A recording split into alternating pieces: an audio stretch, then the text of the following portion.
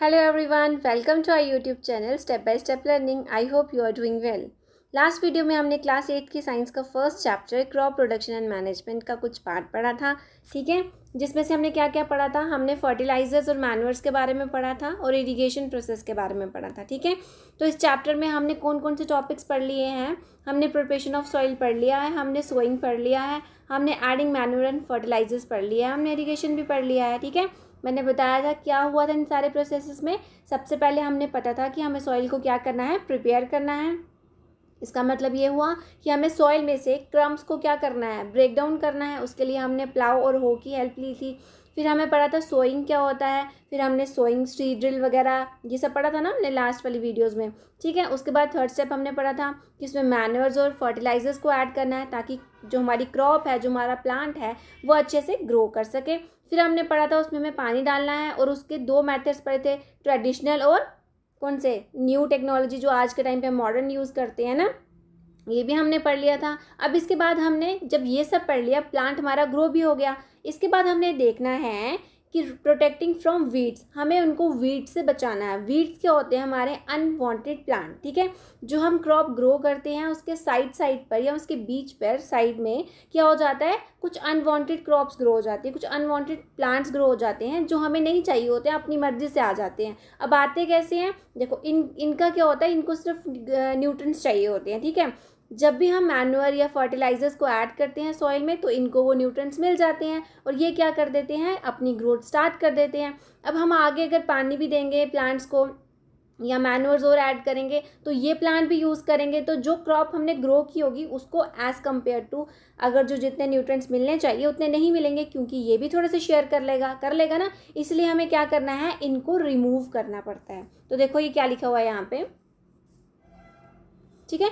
Protection from weeds हमें wheat से अपनी क्रॉप को कैसे बचाना है? कैसे करना है? या तो हम क्या करेंगे? उसको निकालेंगे बाय द ये टेक्निकल मेथड ठीक है? टेक्निकल मेथड हमारा क्या आ गया? जैसे कि यहाँ पे दिखा हुआ है, यहाँ पे पिक्चर में देखो, ये स्प्रे कर रहा है। ठीक है? केमिकल्स को स्प्रे कर रहा है। इनको हम वीडिसाइड्स बोलते हैं, ठीक है? केमिकली वीडिसाइड्स को स्प्रे कर कर हम उनको मार सकते हैं और ख़त्म कर सकते हैं। ठीक है? ये थोड़े हार्मफुल होते हैं क्योंकि इसने देखो मास्क वगैरह पहना है, पूरा कवर किया अपने आप को क्योंकि ये स्ट्रॉन्ग केमिकल्स होते हैं। और जो दूसरी यहाँ पे पिक्चर बनाई हुई है, इसमें यूज़ किया गया है खुरपी का, ठीक है? खुरपी क्या करती है? इन आप ऐसे करके इसको गोडनू भी बोलते हैं। ऐसे करके फ़ील्ड में जब आप इसको डालोगे तो क्या करते जाओगे? जैसे जैसे इसको मारते जाओगे तो जो अनवांटेड प्लांट है आपका वो रिमूव हो जाएगा, ठीक है? तो यहाँ पे यही लिखा हुआ है weeds are the undesirable plants in the crop field जो वीड्स क्या होते हैं? जो अनवांटेड जो आपको नहीं चाहिए होते हैं प्लांट्स उनको रिमूव करना क्रॉप्स में से ठीक है? वो क्या होता है? Protection from weeds weeds are remove with the help of trowels खुरपी. खुरपी बोलते किसी आ, कहीं कहीं पे इसको खुरपी भी बोला जाता है ठीक है? लेकिन इंग्लिश में इसको क्या बोलते हैं? ट्रॉल्स बोलते हैं। इससे क्या करते हैं हम? अनवांटेड प्लांट्स को रिमूव कर सकते हैं या फिर हम क्या कर सकते हैं? वीडीसाइड्स को स्प्रे कर सकते हैं ठीक है? ये केमिकल है वीड्स किलिंग केमिकल जिससे हम क्या कर सकते हैं? वीड्स को मार सकते हैं। ठीक है? Spray in the field with the help of sprayer और स्प्रेयर की हेल्प से, जैसे आप इस पिक्चर में देख रहे हो, ये ऐसे ऐसे करके उन प्लांट्स पे क्या करेगा? स्प्रे करता जाएगा और जितने भी प्लांट्स हैं, वो किल हो जाएँगे, वो मर जाएँगे, ठीक है? ये आ गया हमारा फिफ्थ स्टेप ये भी क्लियर हो गया? अब दो ही स्टेप बचे हैं इसके आगे। नेक्स्ट आ जाता है हार्वेस्टिंग अब आपकी प्लांट जो है, आपने उसको बिल्कुल लेवल पे भी कर दिया सीड भी लगा दिया फर्टिलाइजर्स भी ऐड कर दिए, है ना? इरिगेशन भी हो गई आपकी क्रॉप की। आपने वीड्स को भी रिमूव कर दिया। अब तो आपकी क्रॉप पूरी प्रिपेयर हो गई। अब क्या टाइम आ गया? आप उसको क्या करना पड़ेगा? हार्वेस्टिंग करनी पड़ेगी उसकी। मतलब उसको कटाई, उसकी क्रॉप की कटाई करनी पड़ेगी, ठीक है? तो यही यहाँ पे लिखा हुआ it is the process of cutting and collecting the mature crop from the fields जब आप खेतों में से जो क्रॉप क्रॉप आपने ग्रो की होती है ना, आप उसको क्या करते हो? काट काट देते हो सारी क्रॉप तभी तो आप उसको यूज़ करोगे ना आगे। तो उसको काटने को क्या बोलते हैं? इस प्रोसेस को क्या बोलते हैं? हम हार्वेस्टिंग बोलते हैं, ठीक है? अब देखो हार्वेस्टिंग भी इस सारे प्रोसेस हमने पढ़े हैं, इसमें एक मॉडर्न मेथड दिया गया है, एक ट्रेडिशनल मेथड दिया गया है, ठीक है? तो आप इसको दो तरीकों से कट कर सकते हो, या तो आप खुरपी का यूज़ करोगे, खुरपी किसको बोलते हैं हमारी लैंग्वेज में? दंदल, ठीक है? इस पिक्चर में देखो, ये बनी हुई है खुरपी, या तो आप इस खुरपी की हेल्प से ये सब कर सकते हो, या फिर आप टेक्निकल मतलब मॉडर्न तरीके से भी कर सकते हो, ठीक है? मॉडर्न तरीका यहाँ पे लिखा हुआ है, उसका नाम है हार्वेस्टर ठीक है? ध्यान से देखो इस पिक्चर में, यहाँ पे एक बॉक्स एक ट्रैक्टर है, इसमें बॉक्स है, जिसके अंदर ग्रेन्स इकट्ठे होंगे। इस क्रॉप को ये क्या कर रहा है? साथ साथ में कट भी कर रहा है। अभी क्रॉप फ़ील्ड में लगी हुई है। ये क्रॉप को कट कर रहा है। क्रॉप को कट कर कर क्रॉप जो ग्रेन्स होते हैं, वो किसमें? छिलके में होते हैं, ठीक है? ये क्या कर रहा है? उनको छिलके से निकाल भी रहा है और वो छिलका हवा में उड़ भी रहा है और जो ग्रेन है वो यहाँ पे गिरते जा रहा है, ठीक है? ये कौन सा प्रोसेस करता है? ये प्रोसेस कौन कर रहा है सारा? ये हार्वेस्टर कर रहा है, ठीक है? अब इसके बारे में पढ़ते हैं। इसमें लिखा हुआ है, पहला प्रोसेस होता है threshing threshing is a process in which stem of the plants are cut make a hay and then grains are separated from the shaft ठीक है? इसमें क्या होता है? ध्यान से सुनना इसमें क्या लिखा है? जो थ्रेशिंग एक ऐसा प्रोसेस है जिसमें प्लांट्स को बिल्कुल काटा जाता है, जैसे दंदल के साथ काटते हैं ना, बिल्कुल रूट से नहीं करता ये, थोड़ा ऊपर से करता है, वैसे ही हार्वेस्टर भी उसको उसी तरीके से क्या करेगा, हमारी क्रॉप को काट देगा, उसके फिर क्या बना रहे बंच बनाया जाता है, जिसे हम हे बोला है, ठीक है? छोटे छोटे छोटे छोटे बंच बनाए जाते हैं, फिर उसमें से ग्राम मतलब दाना हमें निकालना होता है। उस दाने के ऊपर एक लेयर होता है। उस लेयर को उतारेंगे बीच में दाना होता है। जो उसके ऊपर एक कवर होता है, एक छिलका होता है, उसे हम क्या बोलते हैं? शाफ बोलते हैं। तो शाफ से हमें ग्रेन को क्या करना पड़ता है? सेपरेट करना पड़ता है। तो थ्रेशिंग क्या प्रोसेस है? जिसमें हम प्लांट्स को काटते हैं। उसका क्या बनाते हैं? एक बंच बनाते हैं, ठीक है? गठर भी बोलते हैं उसको। वो बनाते हैं, फिर हम क्या करते हैं? उसको ड्रेन्स को वहाँ से सेपरेट करते हैं, लेकिन कहाँ से? उसके शाफ में से, उसके छिलके में से, ठीक है? अब नेक्स्ट स्टेप आ जाता है विनोइंग विनोइंग एक ऐसा प्रोसेस है, ठीक है? विनोइंग भी एक जैसे थ्रेशिंग एक प्रोसेस है विनोइंग भी एक प्रोसेस है.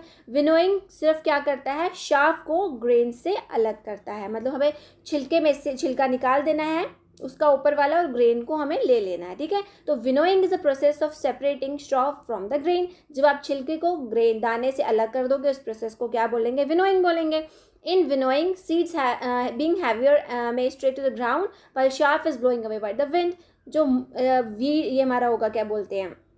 आपका ग्राम्स होंगे जो, है ना? ये क्या होंगे? जो ग्रेन्स होंगे आपके, जो दाने होंगे ना छोटे छोटे छोटे, ये हैवियर होंगे तो ये क्या करेंगे? ये ग्राउंड पे आके गिर जाएँगे, क्योंकि कोई भी चीज़ जो हैवी होगी, वो ग्राउंड पे गिरेगी, और जो वेट लाइट वेटेड होगी, वो क्या हो जाएगी? हवा में उड़ जाएगी। तो इससे क्या मत, इसका क्या मतलब हुआ इस विनोइंग का? इसका मतलब ये हुआ कि विनोइंग एक ऐसा प्रोसेस है जिसमें क्या होता है ग्रेन जो है वो शाफ से छिलके से अलग किया जाता है और ग्रेन जो है वो ग्राउंड पे आके गिर जाता है और जो शाफ है वो हवा में उड़ जाती है क्योंकि ग्रेन हैवियर है और शाफ लाइटर है तो वो उड़ जाता है। ठीक है? और कंबाइन एक ऐसी मशीन है जो हार्वेस्टिंग और विनोइंग दोनों एक ही टाइम पे करती है। जैसे आप पिक्चर इस पिक्चर में देख लो, ठीक है? इसमें साथ साथ में क्या हो रही है? हार्वेस्टिंग भी हो रही है और क्या और क्या हो रहा है साथ में? जो हमारा ग्रेन है, वो शाफ से अलग भी हो रहा है। इसमें अलग हो रहा है और इसमें कटिंग हो रही है, ठीक है? दोनों प्रोसेस समझ आ गई है क्या है? जब दोनों प्रोसेस एक साथ हो रहे हैं, उसे हम क्या बोलते हैं? कंबाइन बोलते हैं। अब हार्वेस्ट फेस्टिवल्स भी होते हैं, ठीक है? जैसे कि हो गया पोंगल, बैसाखी, होली, दिवाली, ये नमाना, बिहू, ये ऐसे फेस्टिवल्स हैं जिनको हार्वेस्टिंग मतलब इस टाइम पे हमारी क्रॉप को कट करते हैं, ठीक है? ये फेस्टिवल्स फिर क्या करते हैं? जो हमारे फार्मर्स होते हैं, वो बड़े हैप्पी होते हैं, अगर उनकी जो क्रॉप है, वो अच्छे से ग्रो हो जाए, ठीक है? ये ये फेस्टिवल्स के टाइम पे भी हम हार्वेस्ट फेस्टिवल्स को सेलिब्रेट कर सकते हैं, क्योंकि क्रॉप इस टाइम पे हम हार्वेस्ट करते हैं। नेक्स्ट आ जाता है, ये देखो ये पिक्चर में विनोइंग दिखा रहे हैं। विनोइंग मतलब आपने अपने घरों में देखा होगा कि आपकी दादी जो हैं, ये सब करते हैं, ठीक है? जिसको हम छज भी बोलते हैं। ठीक है? कुछ जगहों पे उनको छज बोला जाता है। इससे क्या करते हैं? ज़्यादातर ये क्या करते हैं? हमारी जो दाल होती है ना, उसको छाँटने के लिए काम आता है कि उसके अंदर जो अनवांटेड मटेरियल होता है, हमें उसको रिमूव करना होता है वहाँ से, ठीक है? जैसे उसका छिलका हो गया छोटे छोटे स्टोन्स हो गए तो हम ये यूज़ करते हैं, ठीक है? तो ये ज़्यादातर गाँव वाले रूरल एरियाज़ में ये ज़्यादा यूज़ किया जाता है। आप एक ट्राई भी कर सकते हो इसके लिए। आप अगर एक थाली ले लो, ठीक है? या प्लेट ले लो, उसमें अगर आपने कोई ऐसा जब पल्सेस डाल दो या फिर राइस डाल दो, ठीक है? जो थोड़े से गंदे हों, उसमें बीच में डस्ट हो या छोटे छोटे पार्टिकल्स हों या ये हो, आपकी स्टोन हो छोटी छोटी ठीक है? हस्क भी हो छोटे छोटे मतलब अनवांटेड वेस्ट मान लो आप सारा। अगर आप उस प्लेट को सेम इसी प्रोसेस से ऊपर उछालोगे तो उससे क्या होगा? आपका जितना भी अनवांटेड है वो आगे मतलब हवा में उड़ जाएगा या फिर प्लेट के बिल्कुल आगे आ जाएगा, ठीक है? इसका मतलब क्या हुआ? जो हैवी मटेरियल था वो एक जगह पर आ गया और जो लाइट वेटेड था वो एक जगह पे हो गया, ठीक है? तो विनोइंग एक ऐसा प्रोसेस है जो हैवी को लाइट से अलग करता है मतलब उसके छिलके को ग्राम से सॉरी ग्रेन से क्या कर देता है? निकाल देता है, ठीक है? नेक्स्ट पे हम गाएँगे इसका है स्टोरेज लास्ट प्रोसेस अब आ जाता है स्टोरेज अब आपने क्रॉप को ग्रो कर दिया हार्वेस्ट कर दिया, सब कुछ कर दिया, अब उसको कहीं पे स्टोर भी तो करना है ना, कहीं रखोगे ना? ऐसा नहीं है ना कि आपने सिर्फ़ वन के जी क्रॉप ग्रो किया है तो आप एक ही दिन में से खा लोगे। ऐसा नहीं हो सकता ना। आपने जो है बहुत ज़्यादा क्वांटल्स में उसको प्रोड्यूस किया होता है क्रॉप को, ठीक है? तो आपको बड़ी बड़ी स्टोरेज ऐसी ग्रेनरीज वगैरह चाहिए होते हैं ताकि आप इसको स्टोर करके रखो। जैसे आपके घर में क्या होता है जब आप आ, अपने मार्केट से खाना ले आते हो तो आपके घर वाले क्या करते हैं ज़्यादा मतलब स्टॉक में स्टॉक ले आते हैं ना। जैसे एक महीने का राशन लाएँगे बीस दिन का राशन लाएँगे ठीक है? ताकि क्या होगा थोड़े दिन वो चल जाए उसके बाद आप दोबारा न्यू ले लो जाके तो आप उसको कहाँ पर स्टोर करते हो? आप उसको ड्रमीज में स्टोर करते हो अपने घर की है ना? वैसे ही जब ज़्यादा अमाउंट में खाना बनता है पूरी इंडिया के लिए ठीक है? क्योंकि ये जो रूरल एरियाज़ में खाना बनता है, ये सप्लाई होता है आगे, ठीक है? अगर इसको सप्लाई करना है तो पहले उसको स्टोर करना पड़ेगा कहीं पे। अब ऐसा नहीं है ना कि आप अपने घर पे स्टोर कर दोगे, क्योंकि बहुत क्वांटिटी में प्रोड्यूस होता है तो घर पे भी स्टोर नहीं हो सकता। तो इसके लिए कोई प्लेस बनानी पड़ती है ना तो इसके बारे में हम आगे पढ़ेंगे, ठीक है?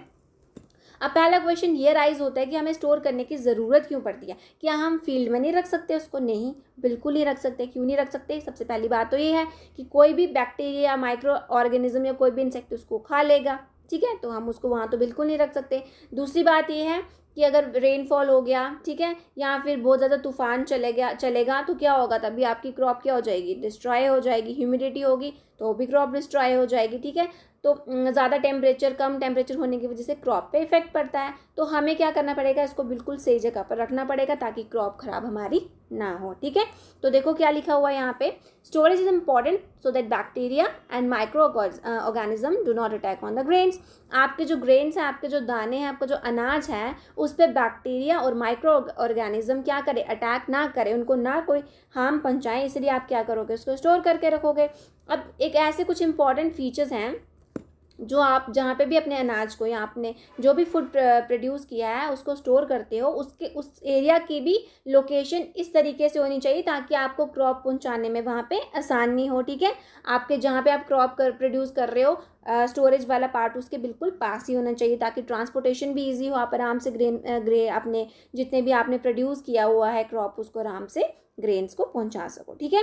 तो पहली बात इसने लिखी हुई है शुड बी वाटर प्रूफ पहली बात तो वहाँ पानी होना ही नहीं चाहिए, वो बिल्कुल सूखा एरिया होना चाहिए जहाँ पे आप क्रॉप को रख रहे हो, ठीक है? Protect the grains against variation the temperature and humidity आपको पता है, जब भी ह्यूमिडिटी होती है जैसे ये वाला क्लाइमेट अभी चल रहा है, इस टाइम पे क्रॉप का ज़्यादा ध्यान रखा जाता है। आप कोई भी, जैसे मान लो आप चिप्स खाते हो ना? तो आप देखोगे थोड़े टाइम बाद ना, वो ऐसे बिल्कुल ऐसे ख़राब सी हो जाती है, वो क्रिस्पी नहीं रहती, उसका ख़राब सी हो जाती है ना। वैसे ही ये हमारे जो ग्रेन्स हैं, अगर इनको ह्यूमिडिटी लगती है तो ये भी क्या हो जाते हैं, ख़राब हो जाते हैं। तो हमें इसको ह्यूमिडिटी से क्या करना है? प्रोटेक्ट करना है। इसका मतलब हम इसको टाइट कंटेनर में बाँध के रखना है ताकि ये वाटर और एयर के कॉन्टैक्ट में ना आए। ठीक है? नेक्स्ट uh, पॉइंट बोला है located at the convenient store so that transportation become easy तो मैंने आपको वही बोला कि क्रॉप को रखने का जो एरिया है वो आपके क्रॉप प्रोड्यूस करने के एरिया के पास ही होना चाहिए ताकि आप आराम से अपनी क्रॉप को वहाँ तक पहुँचा सको। ठीक है?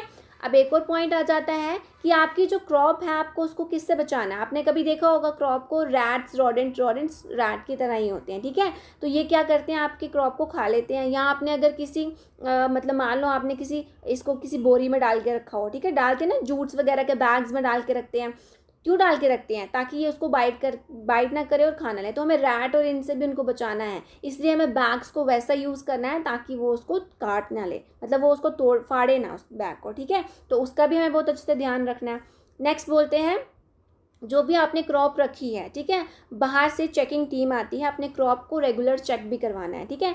Convenient for the regular checkup of store food material ताकि आपका मटेरियल ख़राब ना हो जाए, ठीक है? कभी कभार कैसा होता है पड़ा पड़ा मटेरियल आटे में अलग गंदा सा टेस्ट या स्मेल आनी शुरू हो जाती है, ठीक है? तो हमें उस चीज़ का भी ध्यान रखना है कि हम अपने क्रॉप को टाइम टू टाइम चेक भी करवाएँ, ठीक है?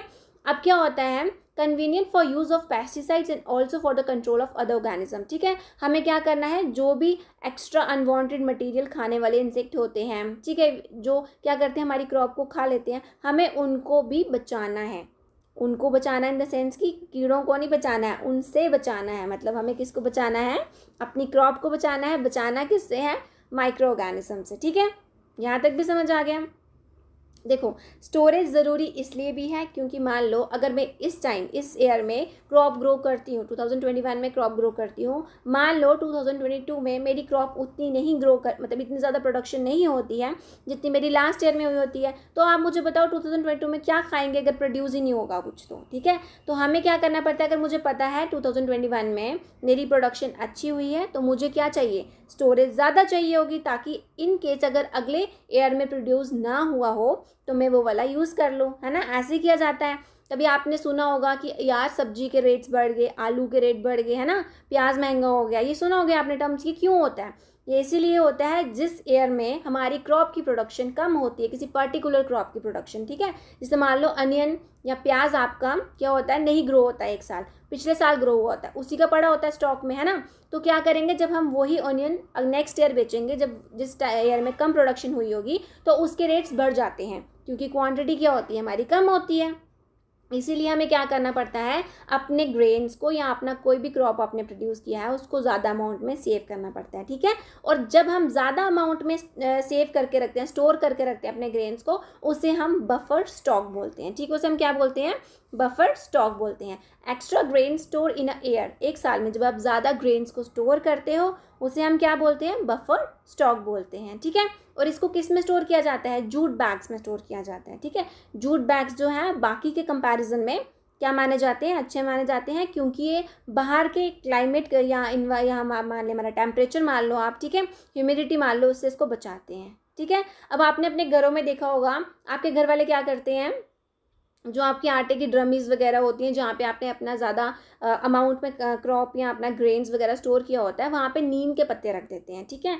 वो नीम के पत्ते क्यों डालते हैं उसमें? क्योंकि जो नीम के पत्ते हैं, वो क्या करते हैं माइक्रो कीड़ा जो आपके, बोलते हैं ना कभी कभी यार, आटे में कीड़ा लग गया है, चावल में कीड़ा लग गया अगर आप वो नीम के पत्ते उसमें डाल दोगे तो उससे क्या होगा, आपकी क्रॉप ख़राब नहीं होगी, उसको माइक्रो ऑर्गेनिज्म नहीं खाएँगे, ठीक है? तो वही लिखा है ड्राइड नीम लीव सूखे नीम के पत्ते are use to protect grains from micro organism ठीक है? ये भी क्लियर हो गया? अब यहाँ पे ध्यान से देखो, यहाँ पे पिक्चर्स बनी गई हैं दो, ठीक है? जिसमें यहाँ पे यह एक सिलोज है, दूसरा एक ग्रैनरीज अब देखो आप ध्यान से, इसमें क्या किया जाता है? दोनों में ही हमारा बल्क में जितना भी ज़्यादा क्रॉप प्रोड्यूस हुआ है हमारा, अब वो क्रॉप हम सारा नहीं कंज्यूम करते हैं सारा नहीं खा लेते हैं, ठीक है? हमें वो स्टोर करके रखना पड़ता है, ऐसी ही बड़ी बड़ी ग्रेनरीज और सिलोज होते हैं जिसमें हम क्या करते हैं, अपने क्रॉप को स्टोर करके रखते हैं और जब हम क्रॉप को यूज़ करना होता है, हम यहाँ से ले लेते हैं, यहाँ से एक्सट्रैक्ट करते हैं, ठीक है? आपने देखा होगा गवर्नमेंट जो है ये राशन कार्ड, दीपू, ये सुने हैं ना? तो ये जो गवर्नमेंट फ्री जो खाना देती है या कम रेट पे खाना देती है पुअर को, वो क्यों देती है? क्योंकि वो फार्मर से ऐसे ही परचेज़ कर लेती है बल्क में, ठीक है? बफर स्टॉक और इनको इसी एरियाज़ में स्टोर करके रखती है ताकि जब किसी को ज़रूरत पड़े, वो यहाँ से निकाल कर उनको दे दे, ठीक है? ये गवर्नमेंट करती है, वैसे ही पब्लिक प्राइवेट इंस्टीट्यूशंस भी होते हैं जो ये काम करते हैं, ठीक है? फार्मर्स भी होते हैं जो ये काम करते हैं, जो उसे बल्क में रखते हैं। तो खाना क्या होता है? जो हमारा अनाज, जो हमारा फ़ूड है, जो ग्रेन्स हैं, ये क्या होते हैं? डिस्ट्रीब्यूट हो जाते हैं डिफरेंट डिफरेंट सेक्शन में। ऐसा नहीं कि ये सिर्फ़ फार्मर के पास ही रहेंगे, ठीक है? ये आगे आगे इंस्टीट्यूशंस में क्या हो जाते हैं? डिस्ट्रीब्यूट हो जाते हैं। तभी ये हम तक पहुँचते हैं, क्योंकि ये सारे कहाँ प्रोड्यूस किए जा रहे हैं? रूरल एरियाज़ में अर्बन एरियाज़ में इतना एरिया ही नहीं होता कि हम क्रॉप को प्रोड्यूस करें, है ना? तो ये सारे कहाँ? गाँव वाले एरियाज़ में इनको प्रोड्यूस किया जाता है। ठीक है? इसी के साथ हमारा ये वाला टॉपिक जिसका नाम था एग्रीकल्चर प्रैक्टिसेस ये क्या हो गया है? आज पूरा हमने ये प्रैक्टिसेस पढ़ लिया है, ठीक है? जो नेक्स्ट वीडियो है, उसमें हम पढ़ेंगे एनिमल हस्बेंड्री क्या होता है, ठीक है? उसमें हम पढ़ेंगे कि एनिमल हस्बेंड्री के अंदर कितने पार्ट्स इंक्लूड होते हैं? जैसे कि आपको पता है कौन कौन से हैं? डेयरी होता है पोल्ट्री फॉर्म होते हैं, ये सब पढ़ा है ना आपने? ये पढ़ेंगे कौन कौन से होते हैं? फिर इसमें हम एनिमल्स की कैसे केयर करते हैं? उनको कैसे ब्रीड करवाते हैं? ठीक है? उनके लिए क्या क्या रिक्वायरमेंट्स होंगी? ठीक है? हमें आउटपुट क्या मिलेगा उनसे? ठीक है? ये सब चीज़ें हम नेक्स्ट वीडियो में पढ़ेंगे। आज मैं फिर से रिवाइज़ करवा देती हूँ, इसमें हमने क्या क्या पढ़ा है? इस पूरे एग्रीकल्चर प्रैक्टिसेस में हमने पढ़ा है कि हमें सॉइल को प्रिपेयर कैसे करना है। जब हमने सॉइल को पूरा लेवल पे ला दिया, उसमें हमने सीड कैसे लगाना है सीड के टेक्निक्स भी बता दिए। जब सीड भी लगा दिया, उसके बाद आप उसमें मैनर्स और फर्टिलाइजर्स को ऐड करोगे ताकि आपकी क्रॉप अच्छे से ग्रो हो सके। जब क्रॉप ग्रो हो गई, उसको डेली क्या चाहिए? पानी चाहिए ताकि वो और ग्रो करते रहे। मतलब क्रॉप जब आपने लगा दी, पानी भी आपको तभी देना है, ठीक है? ऐसा नहीं है, नहीं देना है। और अगर आपको सॉइल को प्रिपेयर करना है, उसके पहले भी आप पानी और फर्टिलाइजर्स दे सकते हो। इवन कि देते हैं लोग, है ना? ताकि आपकी सॉइल जो है वो सॉफ्ट हो जाए और आराम से जब आप उस पर प्लाओ और हो करो तो आराम से वो हो जाए, ठीक है? फिर हमने पढ़ा कि जब हमारे क्रॉप को न्यूट्रिशन मिलता है, वो ग्रो करने लगता है, उसके साथ साथ को न्यूट्रिशन ले लेते हैं वीड्स वीड्स होते हैं अनवांटेड प्लांट वो ग्रो जाते हैं, फिर हमें उनको भी रिमूव करना पड़ता है, ठीक है? ये हमने आज पढ़ा, उसके बाद आपकी क्रॉप पूरी ग्रो हो गई है, आपको क्या करना है उसको हार्वेस्ट करना है, काटना है, ये भी मैंने बता दिया हम किससे काट सकते हैं, अपनी धंधल से सिक्कल से काट सकते हैं या फिर हार्वेस्टर होता है इसके लिए, फिर जब आपकी क्रॉप कट भी होगी, उसके बाद आपको स्टोर करना है और स्टोरेज के लिए इंपॉर्टेंट फैक्टर्स मैंने आपको बता दिए क्या क्या होना ज़रूरी है ना? पास होना ज़रूरी है ट्रांसपोर्टेशन ईजी हो जाए, क्रॉप के लिए बड़ी बड़ी ग्रेनरी सिलोस चाहिए आपको, है ना? ये सारा प्रोसेस किसमें इंक्लूड होता है? एग्रीकल्चर प्रैक्टिसेस में, ठीक है? कितने स्टेप्स हैं? ये सेवन स्टेप्स हैं, जिसकी वजह से आपकी क्रॉप आपको, जो आप खाते हो ये ये प्रोसेस कर कर आपको एक फाइनल आउटपुट मिलता है, ठीक है? अब इसमें एक और पॉइंट आ जाता है कि हम अपनी क्रॉप को इम्प्रूव कैसे कर सकते हैं। कभी कभार मैंने आपको भी पहले बताया था कि अगर हम एक ही टाइप की क्रॉप बार बार बार बार ग्रो करते रहें तो हमारी सॉइल की फर्टिलिटी क्या हो जाती है? लूज़ हो जाती है। ठीक है? तो हम अपनी इस फर्टिलिटी को कैसे बचा सकते हैं? मतलब हम अपनी क्रॉप को कैसे इम्प्रूव कर सकते हैं? तो पहला मेथड ये भी हो सकता है कि हमें सॉइल को इम्प्रूव करना है, ठीक है? हम अपनी सॉइल को इम्प्रूव कैसे करेंगे? मैंने आपको पीछे बताया था, हमें क्या करना है? क्रॉप रोटेशन करनी है। अगर आपने एक सीज़न में राइस लगा दिया है तो नेक्स्ट में दोबारा राइस मत लगाओ, ठीक है? एक में राइस लगाओ, फिर वीट लगा लो, फिर ग्राउंडनट लगा लो शुगर केन लगा लो। इससे क्या होगा? जो न्यूट्रेंट किसी पर्टिकुलर क्रॉप को चाहिए, अगर आप बार बार वही न्यूट्रेंट दोगे तो वो न्यूट्रेंट खत्म हो जाएगा, ठीक है? अगर आप कोई दूसरी क्रॉप लगाओगे तो उसको दूसरा न्यूट्रेंट चाहेगा चाहिए होगा ना? तो इससे क्या होगा? सारे न्यूट्रेंट सॉइल से कोई पर्टिकुलर न्यूट्रेंट खत्म नहीं होगा, ठीक है? उसका बैलेंस बना रहेगा। तो हमें क्या करना है? हमें प्लांट को क्या करना है? प्लांट को इम्प्रूव करने के लिए सॉइल को पहले क्या करना पड़ेगा? इम्प्रूव करना पड़ेगा। और वो हम कैसे कर सकते हैं? डिफरेंट क्रॉप्स लगाकर, ठीक है? सेकेंड आ जाता है मिक्स क्रॉपिंग। मिक्स क्रॉपिंग क्या होता है? जैसे आपका फ़ील्ड है, आपने सिर्फ़ राइस लगा दिए। या आपका फ़ील्ड आपने सिर्फ़ वीट लगा दी। तो मिक्स क्रॉपिंग हो गया, आप वीट लगा लो, वीट के साथ कोई दूसरा प्लांट भी लगा दो, ठीक है? मिक्स क्रॉपिंग से क्या होगा? आपके न्यूट्रेंट्स फिर क्या हो जाएँगे? डिवाइड हो जाएँगे, ठीक है? कभी कभार क्या होता है, दो क्रॉप्स को एक साथ ही लगाया जाता है, ठीक है? एग्जाम्पल्स आप कोई भी ले लो, आपको जो ठीक लगे, जैसे ग्राउंडनट और कॉटन को साथ में लगा दिया, मूंगफली का, और कॉटन का पेड़ साथ में लगा दो, ठीक है? ऑल्टरनेटिव वेज में। इससे क्या होगा? आपके जो न्यूट्रंस क्रॉप को चाहिए होंगे, वो बराबर से मिल जाएँगे दोनों को, ठीक है? ख़त्म नहीं हो जाएँगे इससे, ठीक है? ये भी समझ आ गया। एक आता है फ़ील्ड हेलो, ठीक है? फ़ील्ड हेलो में क्या होता है? आपको क्रॉप को मतलब उस फ़ील्ड को थोड़ी देर तक खाली रखना पड़ता है। मान लो आपने एक सीज़न में राइस ग्रो कर दिया है तो आप क्या करो, उस फ़ील्ड को खाली छोड़ दो। उसमें मैनुअर्स वाटर ऐड करते रहो, ताकि वो क्या हो जाए, आपकी सॉइल इनरिच हो जाए और जब आपको नेक्स्ट ईयर उस क्रॉप को ग्रो करना होगा तो आप आराम से उसमें ग्रो कर लो, क्योंकि उसके न्यूट्रेंट्स ख़त्म नहीं होंगे, क्योंकि क्रॉप उस फ़ील्ड में कोई ग्रो नहीं करनी है आपको, सिर्फ़ क्या ऐड करते जाने हैं मैनुअर्स फर्टिलाइजर्स, ये सब ऐड कीजिए, पानी को ऐड कीजिए, हो सके तो मैनुअर को ज़्यादा ऐड कीजिए एज़ कंपेयर टू फर्टिलाइजर्स क्योंकि मैनुअर क्यों होते हैं? नेचुरल होते हैं, ठीक है? या, और एक और भी प्रोसेस है कि जब भी आप खाली ज़मीन छोड़ोगे तो ये ध्यान रखना कि उसमें कोई दूसरा प्लांट नहीं ग्रो हो जाए। कभी कभार होता है ना, ऐसे कुछ भी गंदा सा घास ग्रो हो जाता है या कोई भी अनवांटेड प्लांट जो हमें पता भी नहीं होता और ऐसे ग्रो हो जाता है, ठीक है? तो उससे भी अपनी फ़ील्ड को बचाना है कि अगर वो ग्रो हो जाए तो आपको उनको क्या कर देना है? रिमूव कर देना और फ़ील्ड को ऐसे ही खाली छोड़ देना ठीक है? अब आप फर्दर क्लासेस में आप पढ़ोगे कि प्लांट ब्रीडिंग भी एक ऐसा प्रोसेस है जिससे हम क्या कर सकते हैं? अपनी क्रॉप को इम्प्रूव कर सकते हैं। है ना? तो इसके बारे में हम हायर क्लासेस में पढ़ेंगे। बस इतना या, याद कर लो इसमें क्या होता है कि ऐसी टेक्निक होती है जिसमें हम दो वेराइटीज़ ऑफ़ क्रॉप को लगा सकते हैं इकट्ठा। मतलब एक ही क्रॉप होगा लेकिन दो वेराइटीज़ होंगी। नेक्स्ट क्ला, हायर क्लासेस में पढ़ेंगे कैसा होता है ठीक है? इससे क्या होगा आपको डिफरेंट वेराइटी मिल जाएगी और क्रॉप भी आपकी ठीक रहेगी ठीक है? तो क्या हो गया in case improvement of crop ही हो गया। तो ये ऐसे स्टेप्स हैं जिससे हम क्या कर सकते हैं अपनी क्रॉप में इंप्रूवमेंट ला सकते हैं ठीक है? तो यहाँ इसके साथ आपका यहाँ तक कंप्लीट हो गया है। अब सिर्फ़ हमारा एक ही टॉपिक बचा है इस चैप्टर का जिसका नाम है एनिमल हस्बेंड्री वो हम नेक्स्ट सेक्शन में पढ़ेंगे। आई होप आपको ये वीडियो अच्छी लगी हो। अगर आपको ये वीडियो अच्छी लगी हो तो प्लीज़ वीडियो को लाइक और शेयर ज़रूर कीजिएगा और हमारे चैनल को सब्सक्राइब कीजिएगा, ठीक है? टिल देन बाय और जो चैप्टर मैंने पढ़ाया है आई होप आप इसको अच्छे से पढ़ लो ताकि नेक्स्ट जब आपको मैं पढ़ाऊँ तो आपको ये सारा जितना भी मैंने पढ़ाया है, ये सारा आता हो, ठीक है? जैसे ही वो वीडियो कंप्लीट हो जाएगी, उसके बाद हम इसके एन सी क्वेश्चन प्लस आपको मैं होमवर्क भी दूँगी एम करने के लिए। तो साथ साथ ये चैप्टर पढ़ते रहो। Till then bye